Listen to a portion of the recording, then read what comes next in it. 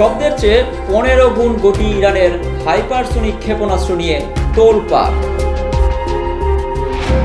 Saudi আরবের সঙ্গে কূটনৈতিক সম্পর্ক জোরদারের পর হাইপারসোনিক ক্ষেপণাস্ত্র তৈরির দাবি করেছে ইরান, যা শব্দের চেয়ে পনেরো গুণ গতিতে চলতে সক্ষম এবং যে কোনো আকাশ প্রতিরক্ষা ব্যবস্থাকে ফাঁকি দিতে পারবে এটি। আর এই ক্ষেপণাস্ত্রের সঙ্গে প্রতিদ্বন্দ্বিতা করা বা ঠেকানোর মতো কোনো প্রযুক্তি নেই বলে দাবি করছে দেশটির সরকার।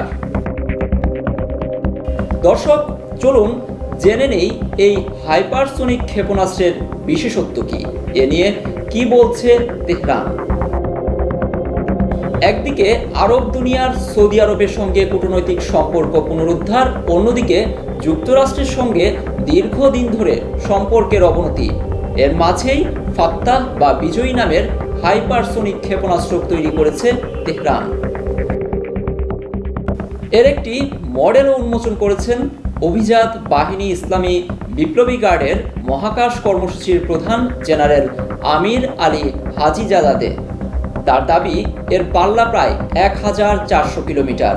আর এটিকে মধ্য পাল্লার ক্ষেপণাস্ত্র হিসেবে বিবেচনা করা হচ্ছে।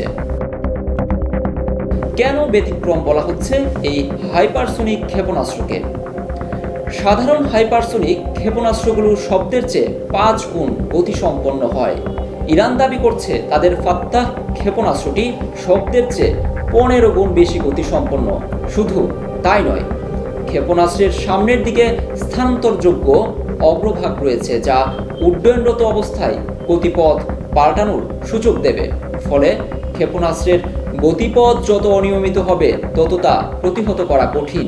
যদিও উৎক্ষেপণ করার কোনো ভিডিও এখন পর্যন্ত প্রকাশ করেনি তেহরান। সংশ্লিষ্টরা দাবি করছেন, ক্ষেপণাস্ত্রটির ইঞ্জিনের একটি স্থল পরীক্ষা চালিয়েছে তেহরান, যা উৎক্ষেপণের চেয়ে কিছুটা জটিল।